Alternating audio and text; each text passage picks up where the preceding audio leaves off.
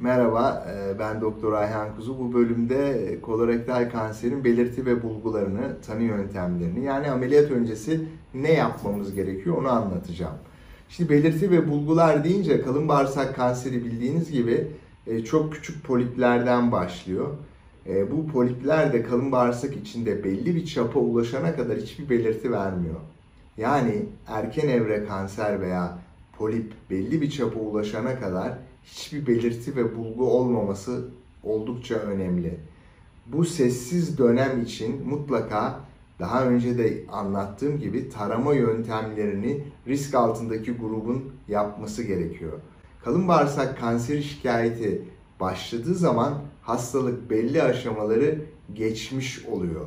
Bu nedenle kalın bağırsak kanserinde polip veya erken evre bir kanser olduğunda aşikar belirti ve bulguları beklemek çok mümkün değil.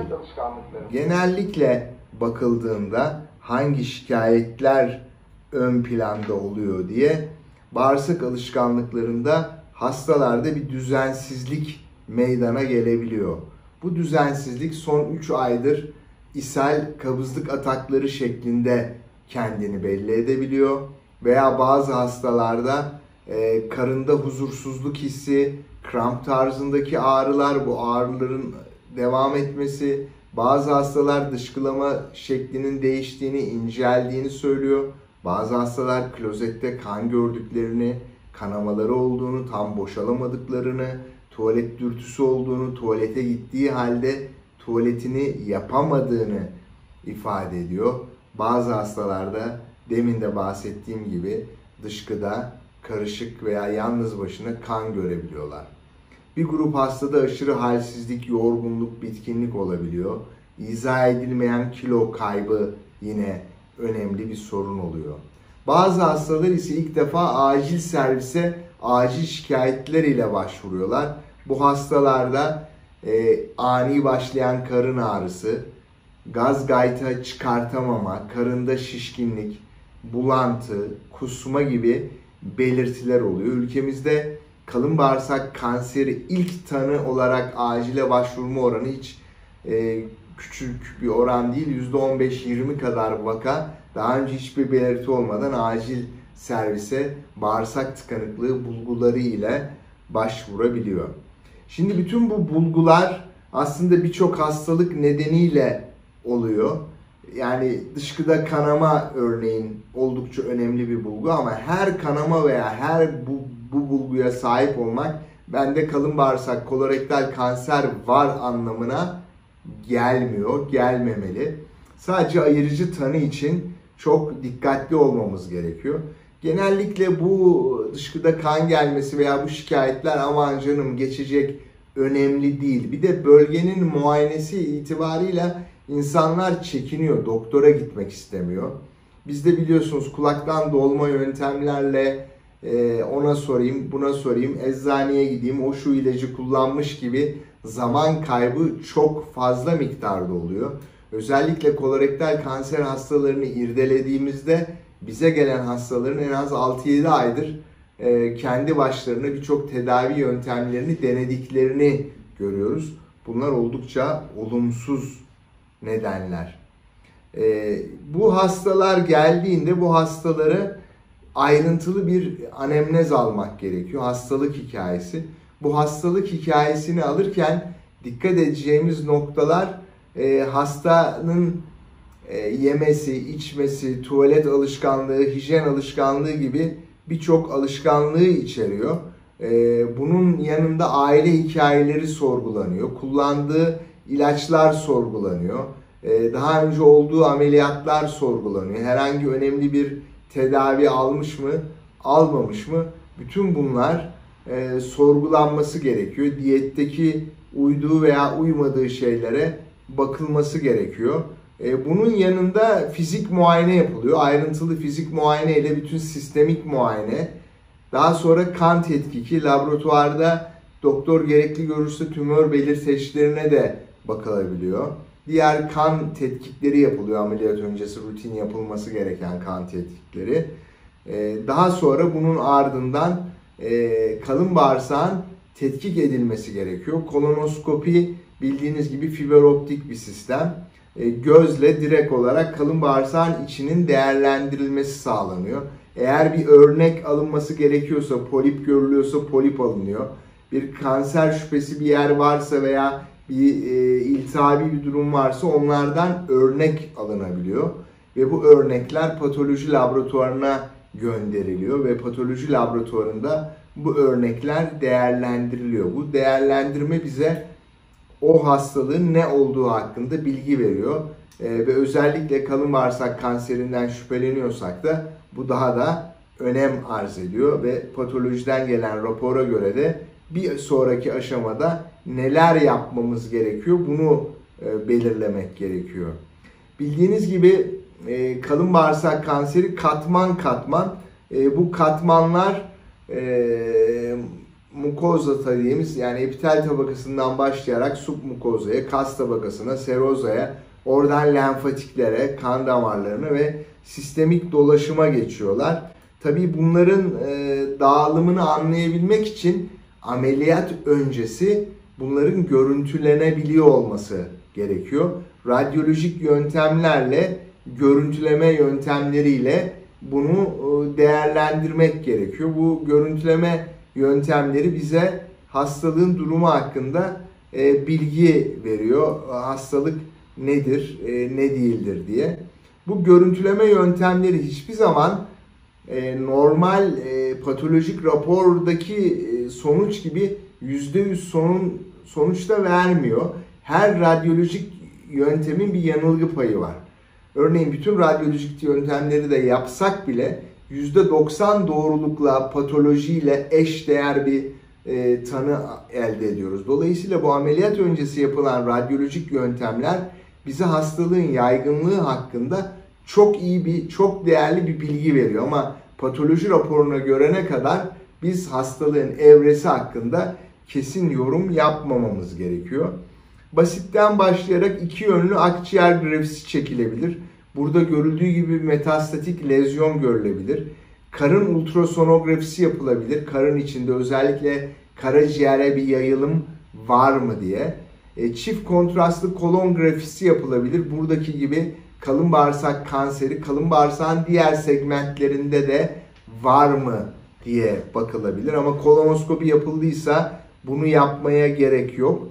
E, bu tetkikler aşamasında en önemlisi belki de bilgisayarlı tomografi. Çünkü bilgisayarlı tomografi aynı anda hem akciğerleri hem karaciğeri hem kalın bağırsakta yerleşen hastalığın olduğu bölgedeki bölgesel yayılımı, komşu organ tutulumunu, oradaki lenf bezlerini, peritonda bir yayılım var mı bunu değerlendirme anlamında tek seferde toraks, abdomen, üst abdomen, alt abdomen tetkikiyle değerlendirmek mümkün. Burada da görüldüğü gibi karaciğerdeki metastazlar belirlenebilir. E, hastalığın yeri belirlenebilir.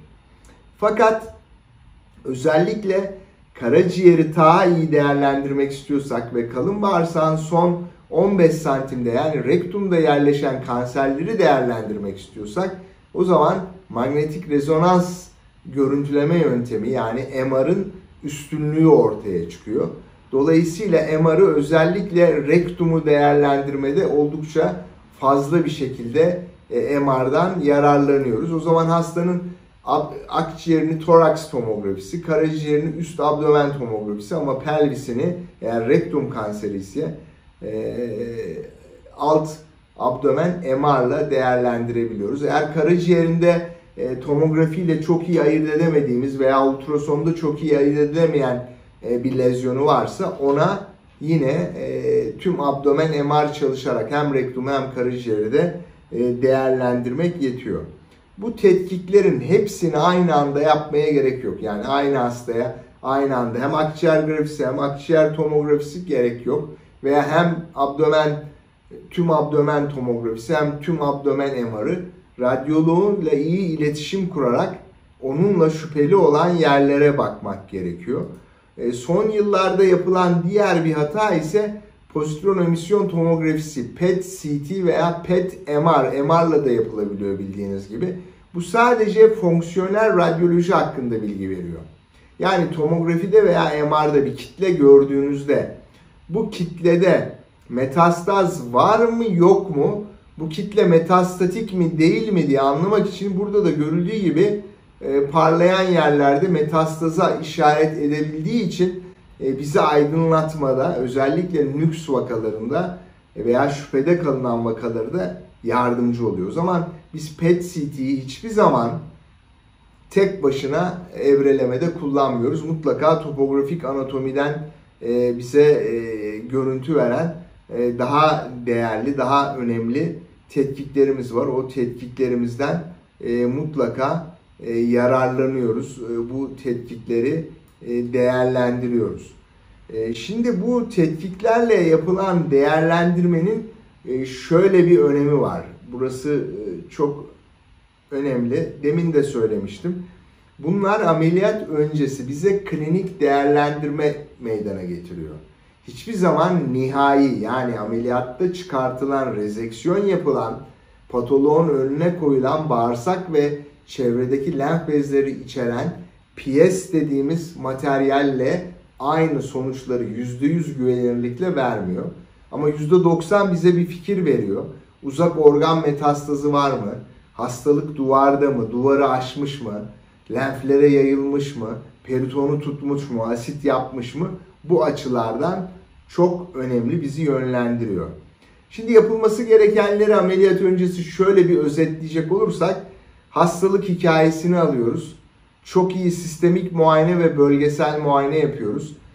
Kan tetkikleri yapıyoruz. Eğer kanserse tarama amacıyla tümör belirteçleri hiçbir zaman kullanılmıyor. Ama karsinoembürjenik antijen tarama amaçlı değil, hastalığı tanısı alan insanlarda hastalığın derecesini ve takibini yapmak için kullanılıyor. Ve burada da her kalın bağırsak kanserinde karsinoembürjenik antijen yüksek çıkmayacağını da bilmemiz gerekiyor. %70 oranında sensitivitesi var. %30 oranında duyarlı olmayabiliyor. Yani hastanın değeri normal çıkıyor ama hastada kanser, kalın bağırsak kanseri olabiliyor. Bu nedenle önemli. Diğer bir nokta karsinojenlik antijen seviyesi ne kadar yüksekse hastada o kadar yaygın metastatik hastalık var demektir. Yani kalın bağırsak kanseri tanısı alan iki tane hasta geldi aynı yaşta, aynı yerde, aynı evrede olsun.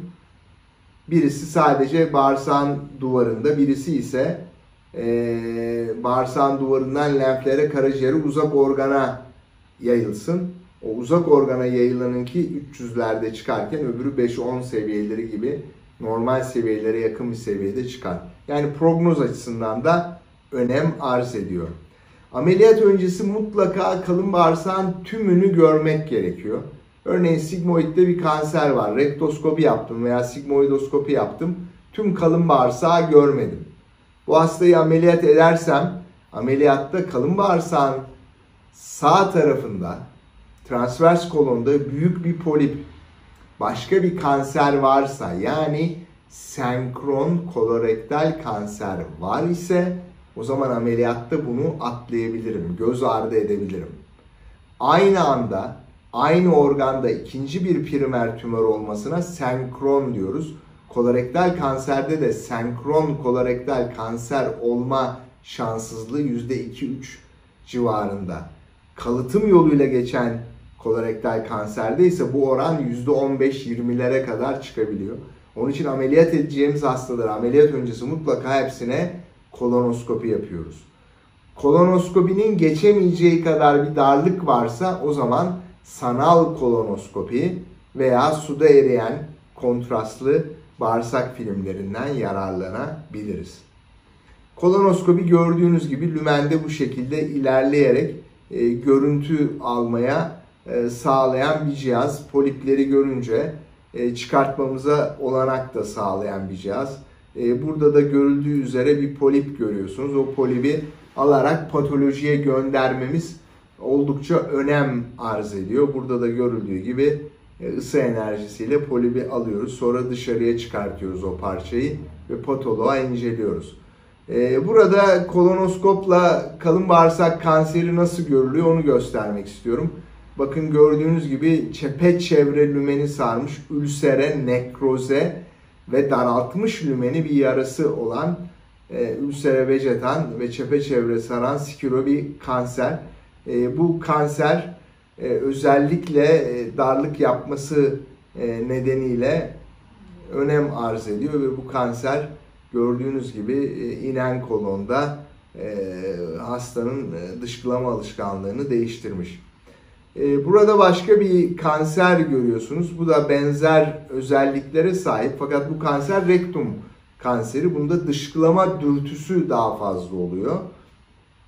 Diğer kanser ve bu kanser arasında fark var. Yerleşim yerine göre e, kanserlerin belirtileri de bulguları da değişebiliyor. Örneğin sağ kolonda bir kanser varsa gözle görülmeyen kan kaybına neden olduğu için hasta genellikle aşırı kansızlık, yorgunluk, halsizlik, anemi ve kitle lümenin çapı çok büyük olduğu için çok büyük ölçülere ulaşana kadar da kolon lümenini tıkamıyor. Onun için hasta eline gelen bir kitleden bahsedebilir sağ alt kadranda. Buna sağ kolon triadı deniyor. Sola doğru gittikçe kalın bağırsak kanseri genellikle dışkılama alışkanlığında değişikliğe neden oluyor. İshal, kabızlık, tam boşalamama gibi. Eğer kanama buna ekleniyorsa ve tuvalete gidip devamlı bir tenezim hali, dışkılama dürtüsü var ama yapamıyor. Kan geliyor, devamlı bir e, pelvik tabana vuran ağrısı varsa o zaman yine rektum kanseri düşünmek lazım. Bildiğiniz gibi gastrointestinal sistem embriyolojik olarak köken aldığı yere göre de bulguları değişebilir. Yani kalın bağırsağın sağ tarafı bildiğiniz gibi orta bağırsak, en son tarafı ise rektum tarafı ise arka bağırsaktan gelişiyor. Arka bağırsağın ağrıları genellikle perineye doğru vururken sol kolonun ağrıları göbek altında, sağ kolonun ağrıları ise göbek etrafında olabiliyor. Bu da bize yerleşim yeri hakkında gene ip ucu veriyor. Bakın ameliyat öncesi çift kontrastlı kolon grafisi yapılabilir dedim. Elma yeniği manzarası. Günümüzde kolonoskopi çok yaygın, çok sık kullanıldığı için e, bu yöntem artık çok fazla da e, kullanılmayan bir yöntem ama elma yeniği manzarası oldukça önemli. İşte bütün bu radyolojik tetkikleri yaptırıyoruz ama bu radyolojik tetkikler bize ameliyat öncesi hastalığın e, klinik evrelendirmesini yarıyor. İşte akciğer grafisinde bakın iki yönlü çekilmiş tümör görünüyor. Burada karaciğer bilgisayarlı tomografisi veya manyetik rezonans görüntülemeyi görüyorsunuz.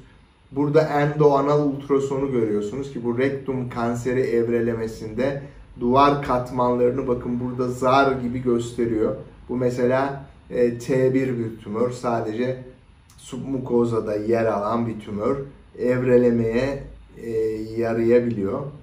Bu da pozitron emisyon tomografisi veya MR'ı da yapılabiliyor. Bu tomografi bakın tümörün olduğu yerlerde parlama var. Bir de fizyolojik parlamalar var.